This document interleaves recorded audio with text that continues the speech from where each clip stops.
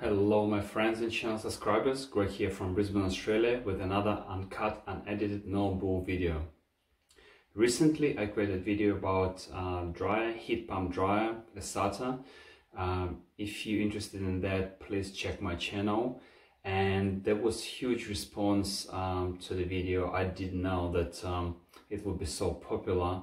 And a couple of people reached me privately and say, hey, it looks like the washing machine that under the dryer, because I stacked them up, is much bigger. What kind of washing machine is that? And I thought, wow, that would be really interesting to create a review about my Samsung 16 kilos washing machine. I've got number of things to say about it and um, the one that jumps out is the washing machine is already four years old. There are a couple uh, newer models after that one, but I think they're all based on the same principle. And there's a couple of points to make to make clear for those who wishes have a big washing machine. Let's start with the negative part of the bigger washing machine. First big big negative bit is for delivery guys. You may not believe, but that washing machine weighs close to 120 kilos. I had two big guys with an industrial trolley struggle to get it in. That washing machine is heavy. If you are just about to move house and you would like to buy 16 kilos front loader, think twice before you do so. Uh, it's easier for delivery drivers to deliver to new place, but it's way harder to move properties if you decide to buy and just move and if you're planning for a new house. The second big problem is many people don't realize all dryers and washing machines are standard size until you get to the point of 12 kilos and above washing machine. Some of them still can cram it into standard size, but this one is not standard size. And if you have constricted space where you put it in, some people got bench on top of it. Some people got side kind of um, uh, cabinet. If it's not an open space like what I've got here, think twice and measure up before you buy one it won't fit. So that's about measurements. And from a negative side, that's all. Let's spell good news, uh, and there's plenty.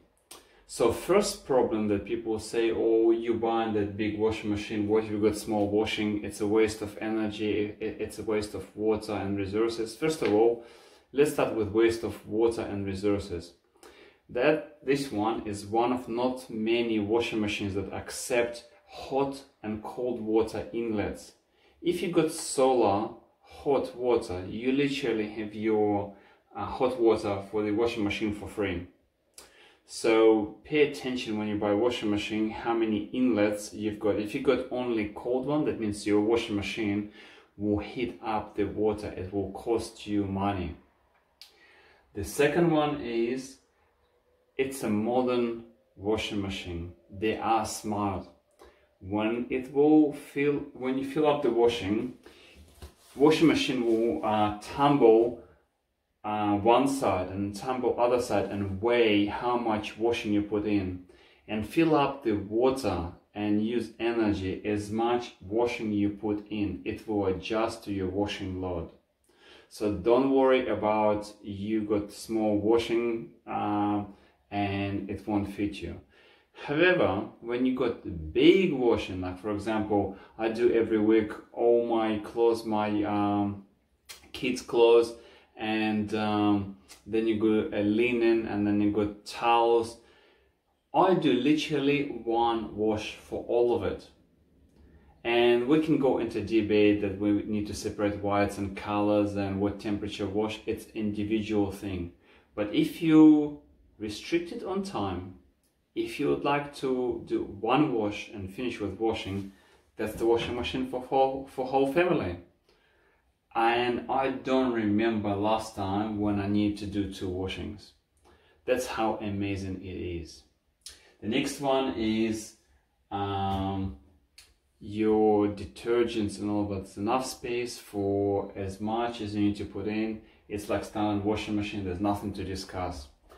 What Samsung washing machines do differently though, uh, the model called bubble wash and I think later on there's a steam wash as well. I cannot um, say anything about steam wash because I never experienced it, but bubble wash is phenomenal.